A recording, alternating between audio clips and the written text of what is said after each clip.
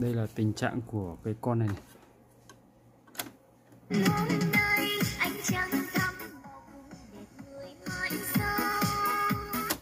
tua không được Đấy. tua rất yếu. À, không có gì giữ băng.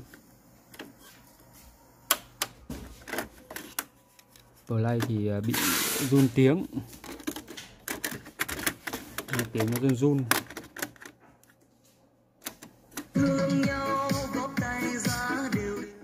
Ba trái thì sồ sồ luôn xem cửa cái này nhé. Em để này để cho các bác quan sát dễ luôn.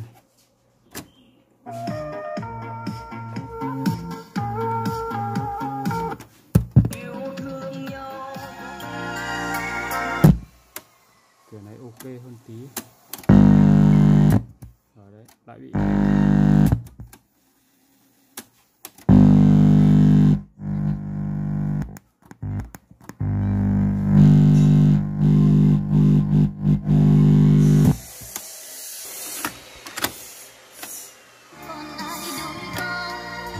còn cái cửa này thì à, bị à, uh, reverse này.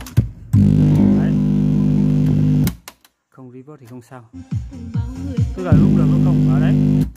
Tự nhiên nó lại bị reverse phát định ngay.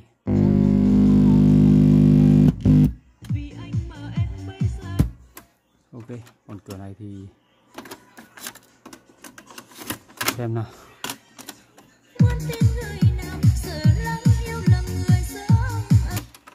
Ok hơn tí.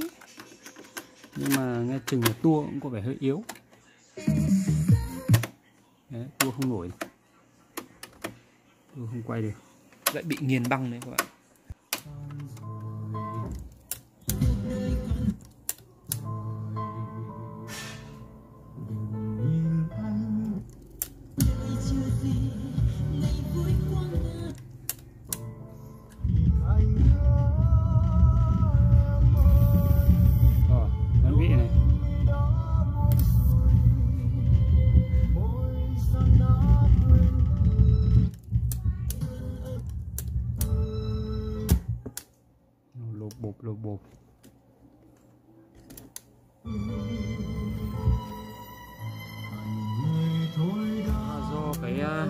Công tắc thu này các bạn.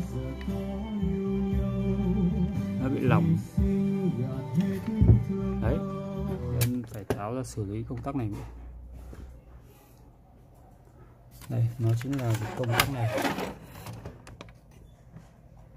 Công tắc này. Lâu ngày nó bị mòn. Đây, rút công tắc này ra đây các bạn.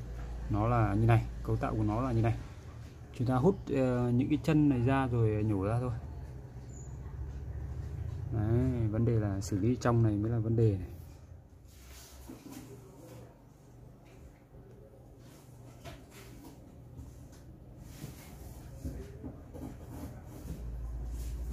Ui dồi, nó đen xì các bạn.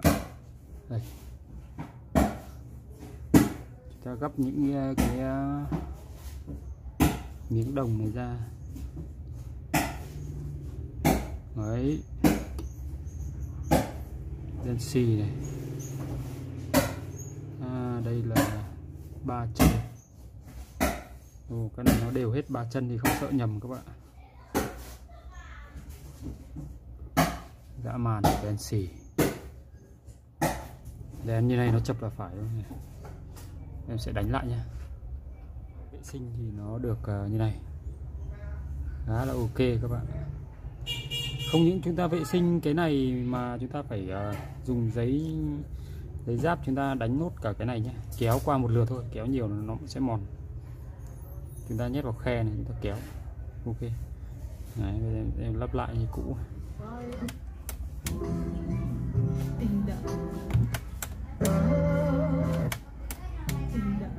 Đây ngon lành luôn các bạn nó bị à, lỏng cả chân đầu từ và cả cái à, công tắc thu này. Chân đầu từ rồi là cái à, rắc đầu từ nữa. Đấy. nhưng mà nó còn một lỗi đó là hơi hơi méo tiếng phải thay cái hai cái bánh tì đây nữa. Tì đây các bạn. Bánh tì uh, em tháo ra đây. Với bác nào độ cái sắt này vào này thì nó méo tiếng này. Đấy bên này thì không có tại vì bên này lỗ vừa. Nhưng mà với cái bánh tì nứt nứt như vậy thì chúng ta cũng nên thay đi được rồi. Đó.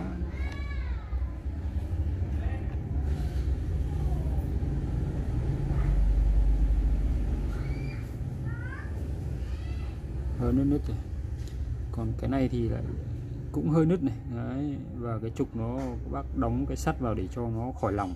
Cái cái lỗ của nó là lỗ 2,5 ngày xưa chưa có bánh tì thì chúng ta thay bằng cách đấy được nhưng mà bây giờ có bánh tì chúng ta nên thay cái vừa vào luôn. Ok cho nó khỏi méo tiếng quay đầu băng mà không bị nghiền băng này các bạn này.